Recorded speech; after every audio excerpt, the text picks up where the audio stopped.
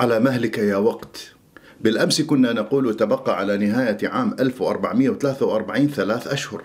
ثم بالأمس صرنا نقول بقي أسبوع. وها نحن اليوم نقول مرت الأشهر والأسابيع والأيام والساعات ودخلنا في العام الجديد. ما أسرعك من أيام تمر ولا نشعر بها. نعم الأيام تمضي سريعا دون أن نشعر بها. إنها تمضي بسرعة مخيفة. لحظة تدبر مع نفسي تجعلني أتأمل قليلا سرعة الحياة وسرعة الأيام وكيف أننا نخاف من المستقبل؟ والمستقبل يمضي دون توقف وبسرعة. تجعل البعض منا يفكر كيف سيكون حاله غدا. والبعض الآخر منشغل بملذات الحياة محاولا أن يستفيد من جميع لحظاتها دون أن يضيع لحظة واحدة من وقته. ترى هل الجميع يشعرون بسرعة الوقت؟ أم فقط من زادت عليهم مشاغل والتزامات الحياة؟ سؤال راودني كثيرا. فسألت الكثيرين عنه ومن مستويات معيشية مختلفة. فربما الغني يشعر بالوقت عكس الفقير لكن الأجوبة كلها كانت متشابهة. نعم الأيام تمضي سريعا دون أن نشعر بها. وكلما كبرنا تسارعت الأيام.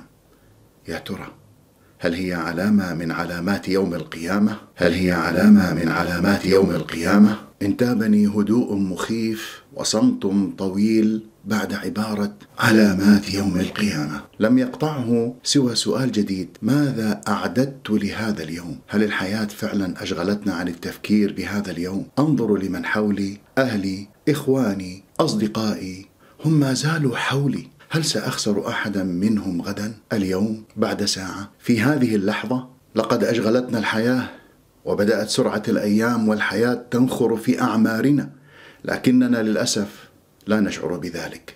اليوم نجلس طويلا أمام منصات التواصل الاجتماعي ساعات وساعات وأكثرها في أمور فارغة دون فائدة مرجوة من ذلك وكله من أعمارنا التي سيسألنا الله عنها. أحبتي في الله هل تعلمون أن العشر دقائق التي تقضونها في تصفح مواقع التواصل الاجتماعي دون فائدة مرجوة؟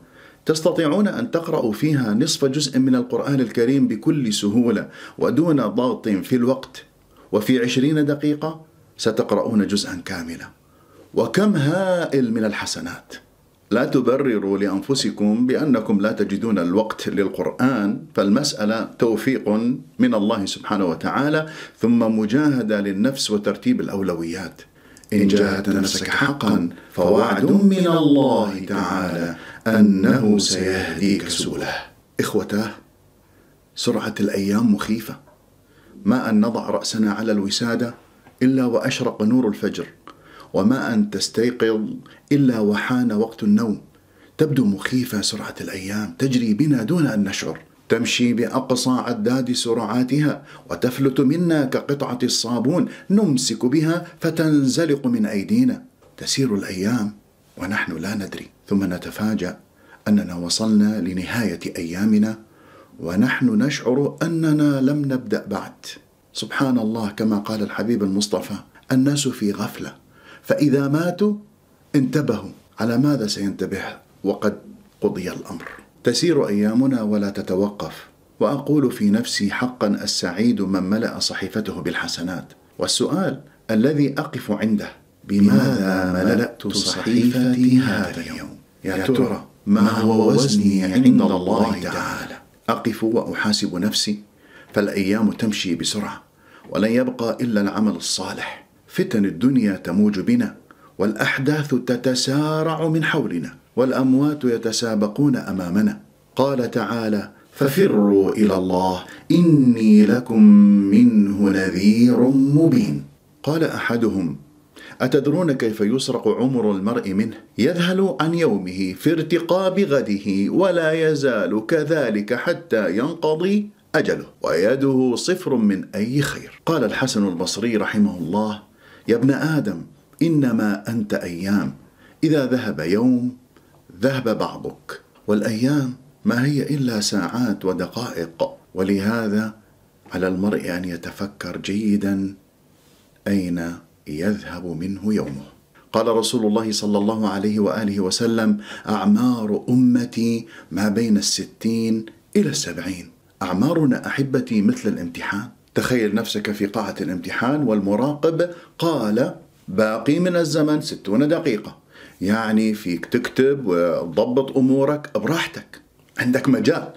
لكن إن قال المراقب باقي من الزمن ثلاثون دقيقة هنا يبدأ التوتر والخوف ويا دوب تلحق تضبط أمورك ولازم تشد الهمة. أما إن قال المراقب باقي من الزمن خمس دقائق فهنا أصبح الوضع حرج جدا. ويا دوب تكتب لك كلمتين. هكذا أعمارنا أحبتي.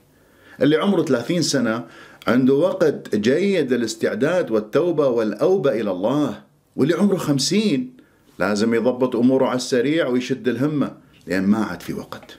وإذا عمرك 60 فأصبح الوضع خطير ويخوف جدا. فلحق نفسك. أعزائي أحبتي في الله دعونا نتوقف لبرهة مع أنفسنا وننظر لما حولنا ولننظر لأعمارنا فإننا نكبر وتمضي بنا الحياة.